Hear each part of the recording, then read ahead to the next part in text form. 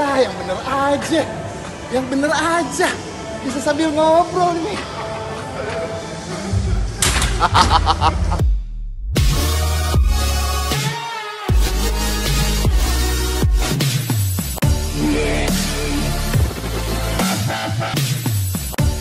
Oke deh, hi smart people.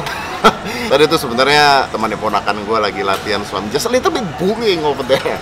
Tapi eh, kita hari ini mau membahas tentang kesalahan-kesalahan ketika seseorang baru saja mencoba untuk latihan di gym. Banyak orang yang akhirnya komplain they cannot build muscle, nggak bisa membuat ototnya, udah latihan lama sekali tapi selalu gagal dan kebanyakan kesalahan itu dilakukan oleh pemula. So, apa aja kesalahan yang dilakukan oleh pemula? Pertama, yang biasanya dilakukan oleh pemula adalah ketika mereka masuk ke gym, mereka nyobain semua alat yang ada. Jadi karena alat ini banyak banget dan mereka mikir, wah ini alat apa dicoba, ini alat apa dicoba dan mereka berharap kalau misalnya semua alat dicoba, ototnya akan jadi. Wah latihan ini, latihan itu berjam-jam, hasilnya nggak ada. Well actually itu nggak boleh. Otot itu dilatih harus satu persatu. Simpelnya adalah misalnya otot chest atau otot dada itu harus dilatih misalnya seminggu sekali atau dua kali. Otot shoulder tidak boleh digabung dengan otot dada. Otot besar misalnya shoulder, dada, back itu nggak boleh digabung ketika latihan. Otot kecil seperti tangan, perut dan sebagainya boleh dikombin dengan otot besar. Kita akan bahas itu di video lainnya nanti. Tapi biasanya adalah mereka mencoba semua alat and that's wrong. So kalau anda baru mulai latihan gym, jangan latihan semua alat anda puter. Yang anda lu cuma capek doang, jadi kagak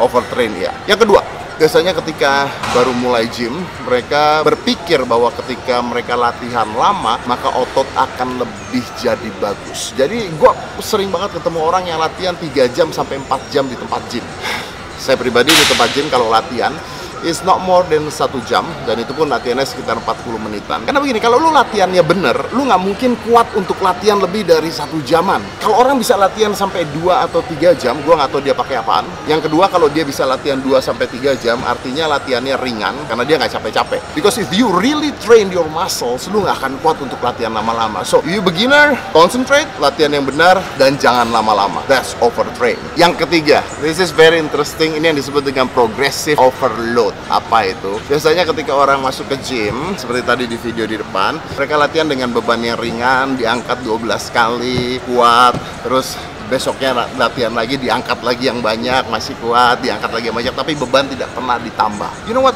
Ketika lu latihan di gym atau workout atau angkat beban beban harus terus ditambah. Saya latihan ketika ngangkat itu maksimal 8 kali dan itu udah nggak kuat ngangkat lagi. Lalu saya tambahin lagi sampai maksimal 4 kali gua nggak kuat ngangkat lagi. Dan gua dua minggu lagi berat gua harus ditambah. Karena kalau beratnya tidak pernah ditambah artinya lu nggak akan pernah nge-build muscle lu. Lu nggak akan pernah untuk ngebentuk otot lu. Otot itu hanya bisa bisa dibentuk ketika lu overload. Jadi kalau lu latihan dengan beban yang sama, terus-terusan ngangkat dengan beban yang sama, you know what, forget about that. Lebih baik lu di rumah aja latihan push up doang.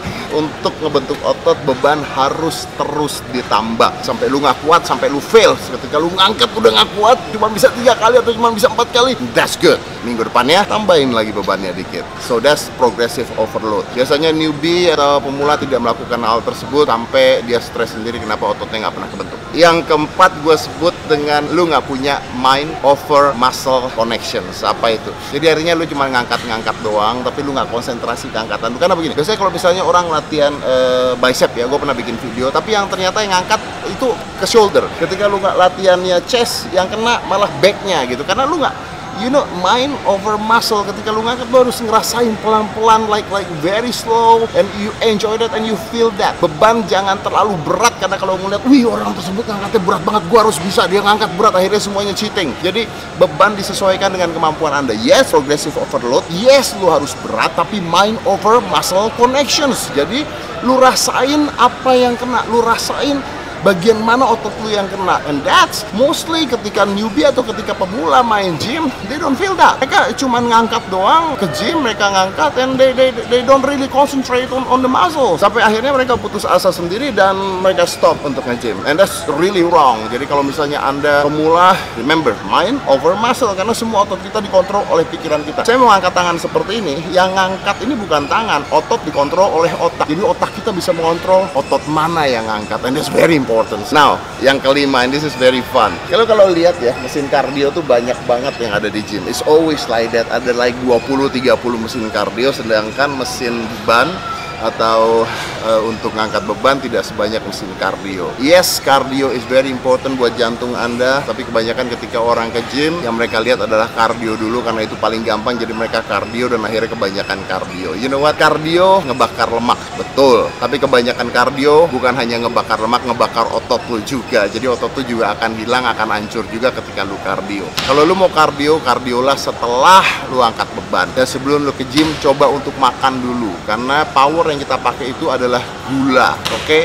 power yang dipakai adalah gula dari makanan kita. Angkat beban setelah angkat beban lalu kardio nggak usah lama-lama. Kecuali lu gemuk banget dan lu pengen kurus. Dan actually kalau lu pengen kurus percaya apa nggak? Lu ketika kardio lu hanya bakar kalori ketika lu lagi lari atau lu lagi jalan. Tapi ketika lu angkat beban and then you build all the muscle otot ini akan bakar kalori 24 jam bahkan setelah lu latihan. Tapi kalau lu kardio lu hanya bakar lemak pada saat lu kardio doang. So kecuali lu memang pingin latihan buat jantung lo, then there is no use for that. Gua tahu ini bakal banyak kontroversi tentang hal tersebut, but that's my opinions. Yang terakhir, and this is very funny, gue udah pernah bahas juga, kebanyakan orang ke gym, latihannya sebentar, datang ke sini, telepon-teleponan, stalking Instagram, ngeliatin cewek.